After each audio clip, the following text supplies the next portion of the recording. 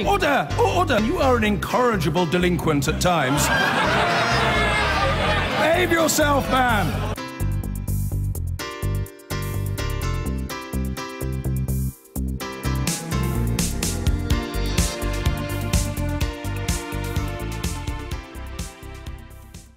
The government is pulling the UK out of a deal which allows some foreign countries to fish in British waters, saying it needs to wipe the slate clean ahead of leaving the EU.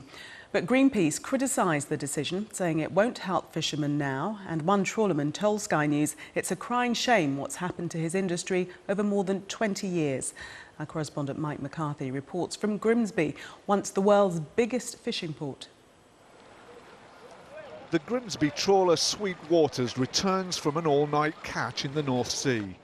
These days, the skipper focuses on shellfish, saying that EU quotas have all but ruined the industry in Britain.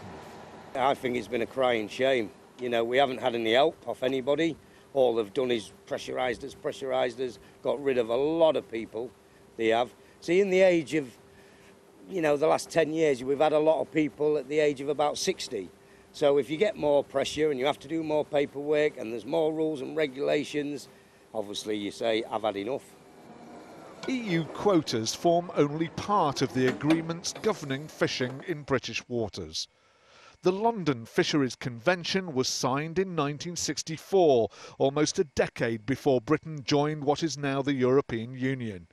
It allows trawlers from Ireland, the Netherlands, France, Germany and Belgium to fish within 6 to 12 nautical miles of our coastline, and for our vessels to do the same in their waters. It sits alongside the EU's common fisheries policy, where all European members can fish between 12 and 200 miles of the UK. Ministers say that ditching the London Convention paves the way for more sweeping reforms. This is important to give us the legal clarity. Uh, we're absolutely clear that when we leave the EU, we leave the common fisheries policy, and we will take control for managing fisheries resources in our own waters. That's right out to 200 nautical miles or the halfway point, the median line. And it's very important, therefore, that we left this uh, particular convention to deliver that clarity so that we can negotiate again from first principles.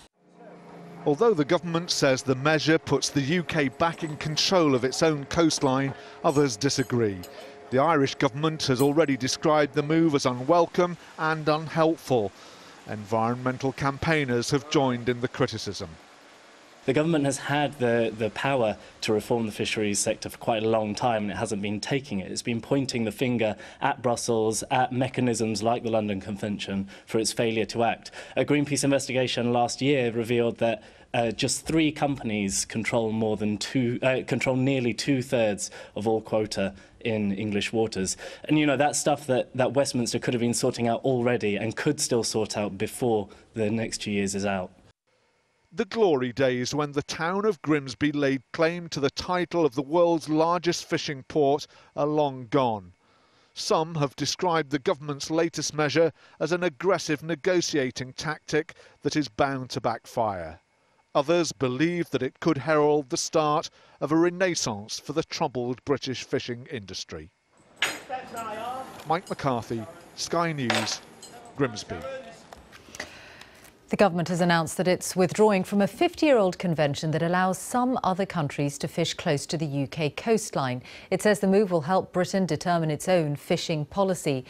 But the European Commission says that the convention no longer exists in law. Here's our business correspondent, Joe Lynam.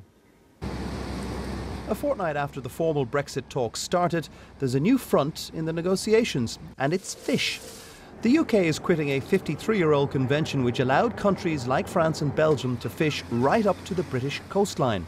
We are giving notice that we intend to quit that. It's a provision in the agreement that enables us to do that with a two-year notice period.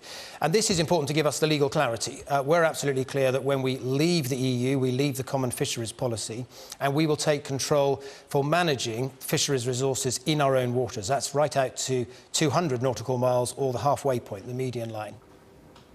So what is the London Fisheries Convention? Well, at the moment, trawlers from France, Belgium, Netherlands, Germany and Ireland can fish to within six nautical miles of the British coastline. Boats from these countries catch 10,000 tonnes of fish in this area a year, but that's a tiny fraction of the more than 700,000 tonnes a year caught by British fishermen. Almost all of that fish is caught in the much wider 200 nautical miles around the UK coast.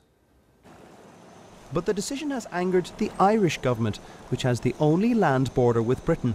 Its fisheries minister described the move as unwelcome and unhelpful. And scrapping the convention could also be meaningless. The EU Commission said today that the London Convention had been superseded by EU rules covered by the Common Fisheries Policy.